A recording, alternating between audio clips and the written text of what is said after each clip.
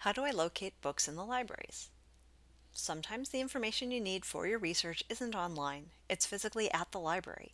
Here's information about several books listed in the library search. To locate books, journals, and other materials in the libraries, you will need two main pieces of information, the location and the call number. Keep in mind that the library search covers multiple locations. It helps students and researchers across the state find information in their libraries as well.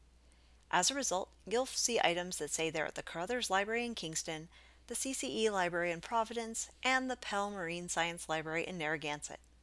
First, figure out whether the item is in a place convenient for you by looking at the location area.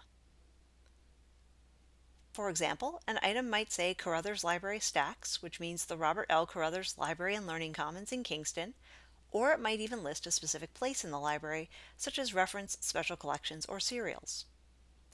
If the location says CCE or Pell, that means it's at one of the branch campuses in Providence or Narragansett respectively. If the item says available, that means it's available at the indicated location. Checked out means someone else has the item. You may see other statuses as well. For questions about access to those items, please contact a librarian. If the item says it's available, look for that call number. And make a note of the whole number and the item's location. It might be long, but all the components are important.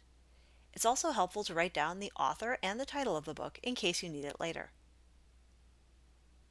Use the location and the call number to guide you to the part of the library with the item you're trying to find. The first part of the call number works in alphabetical order. A comes before B. If you have two letters, HA comes before HB.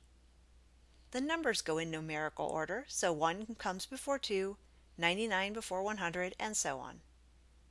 Be sure to bring the author, title, and call number with you so you can find the book you're looking for. Once you get to the right section of the library by following those numbers, you should be able to find your materials. If you can't find what you need, however, please stop by a service desk for assistance.